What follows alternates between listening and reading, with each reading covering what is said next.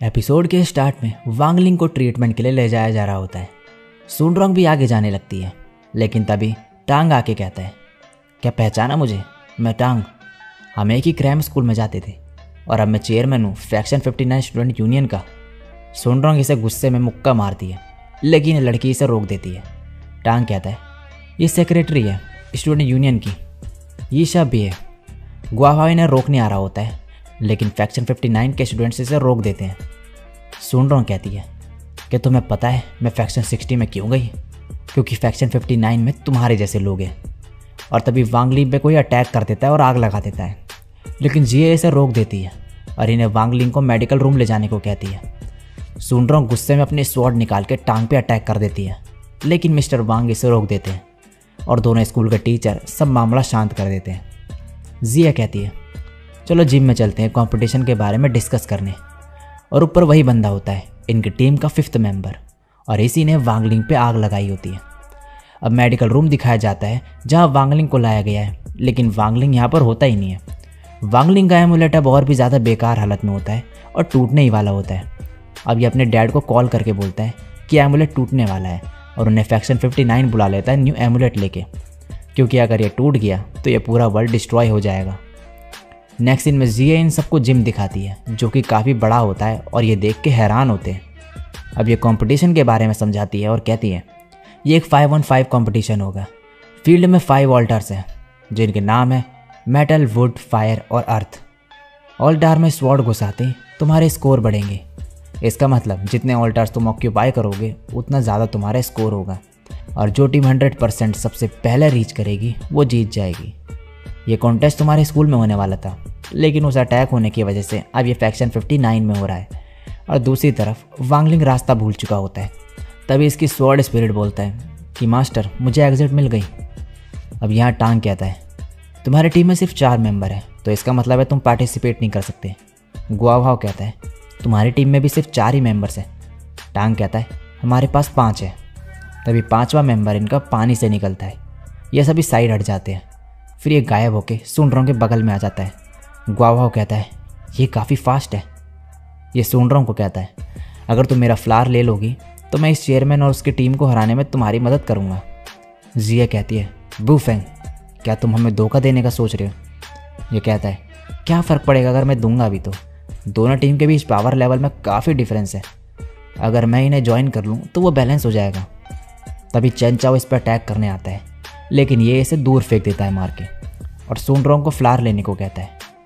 चैनचाओ फिर उठ के खड़ा होता है और ये फिर से बुरी तरीके से इसे मार के नीचे फेंक देता है।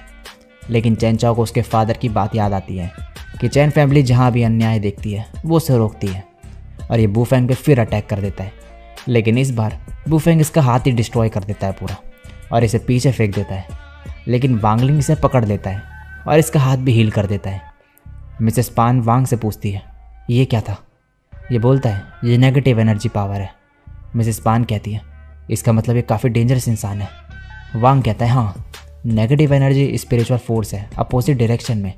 और जब ये कल्टीवेटर के पॉजिटिव स्पिरिचुअल फोर्स से टकराती है तो एक बहुत बड़ी स्पिरिचुअल एनर्जी क्रिएट होती है, जो सब डिस्ट्रॉय कर देती है।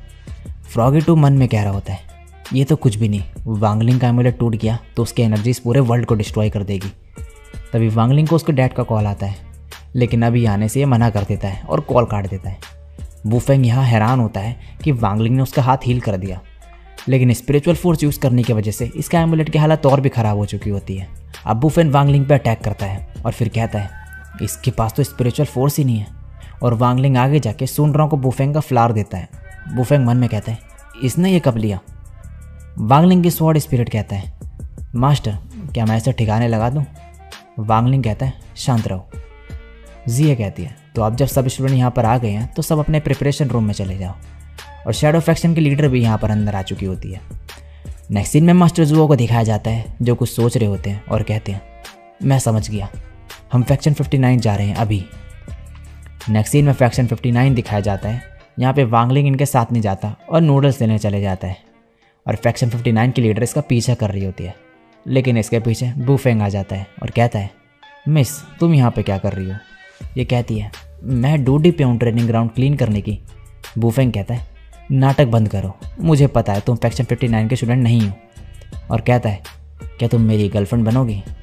और जो भी तुम प्लान कर रही हो, मैं तुम्हारी हेल्प करूँगा उसमें।